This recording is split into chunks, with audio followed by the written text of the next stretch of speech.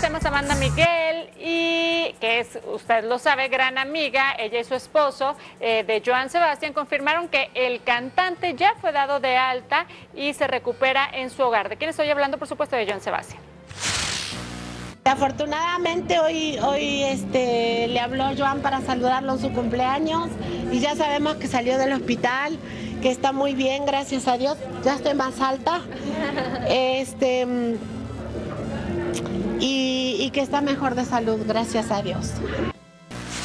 Eso, eso es una extraordinaria noticia, que el señor Joan Sebastián, después de casi tres semanas, ¿no, Jess? Tres semanas de estar Así es. Pues, eh, internado en un tratamiento para, pues, para contrarrestar esta enfermedad con de la que ustedes sa- saben, pues ha venido luchando los últimos 15 años. Qué bueno que, que salió.